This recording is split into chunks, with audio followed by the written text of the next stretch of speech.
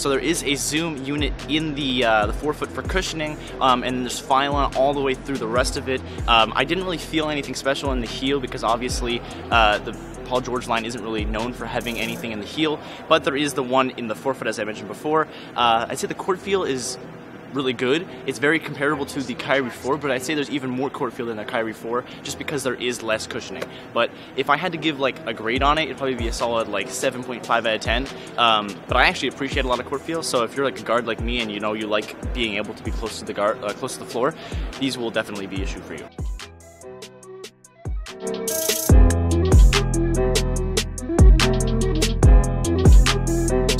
No like special name for the traction pattern on this shoe, but there is basically an improvement from last year, but also still similar to last year's PG1 model. If you like the traction from last year's, which was pretty good, you will definitely appreciate this one. I would just, if I had to say anything about the traction pattern, it'd be that this traction pattern is way more aggressive than last year's.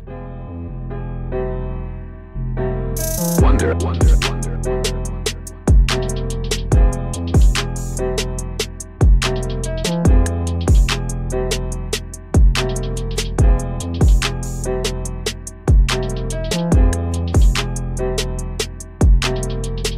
So the materials used in the PG2, you have a suede heel cap, which honestly, if unless you're touching it, there's nothing really special about it. Uh, suede is a super common material used in Nike uh, basketball sneakers. For the uh, forefoot, you have like a really hard mesh material combined with the Flyknit. It gives you a really comfortable feel, and you have a nylon-like booty to uh, keep your foot in place, which I really like, and is not really used a lot in Nike shoes, but is used in like a couple of them. But I think they need to use it way more because it's really working for Nike.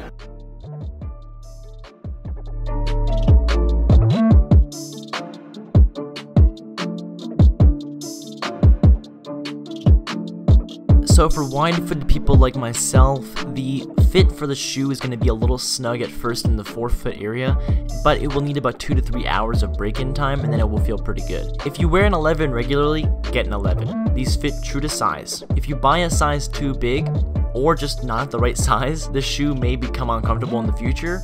And heads up, if you buy a signature shoe line from like Steph Curry or LeBron and the your foot just doesn't feel comfortable in it, maybe it's just not to be. So comparing basically the overall the shoe, the traction, the cushioning, the materials used, I'd have to give the shoe like a solid like 9 out of 10. It's not better than the Kyrie in my opinion, but it is a really good performance basketball shoe. And especially for the, the price, it's $100, uh, $110 American, $145 Canadian. Uh, it's $20 less than the Kyrie 4. So you're getting a little bit of a steal because you're basically getting like a light version of the Kyrie 4 and the Kyrie 4 is already a really good shoe. So if you're looking for a really cheap uh, ball shoe and you want something that's really, really good, especially from Nike, definitely would comp these. They, are just they're just super affordable, so that's why I would buy them. If you guys like this video, please leave a like down below, subscribe. This video took a lot of work, and uh, I thank you guys for watching. Uh, road to 300. Uh, yeah, let's go.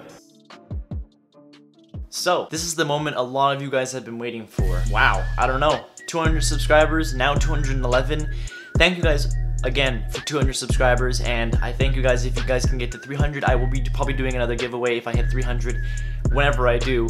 But I just want to say thank you guys for getting me to 200 I was trying to get to 200 for a long time and a lot of you guys don't think that 200 is a lot but believe me it is. It's just a small step uh, for many to come and I'm just super super super excited for the future of this channel and for the future of my filmmaking career so let's go into the giveaway. A lot of you guys are waiting for this. Alright guys, so the time is here. I'm finally going to pick the winner. I already have this website and everything picked out. Alright, the web URL is in. There were 20 commenters. 20. Come on people, come on. Only 20 of you guys enter, that's crazy. Your odds of winning are super huge. Alright, here we go. And the random winner is, drumroll please, random winner is Scott Kazera. Uh, or I don't know, I can't remember. I, have known this guy for like a couple years.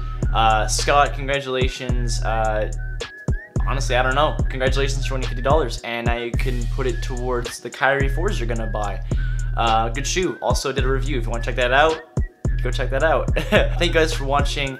Um, please get me to 300 subscribers. Like, please, please get me to 300 subscribers. I thank you guys so much for watching. Like my video, please, and uh, yeah. I'll see you guys some other time. Peace.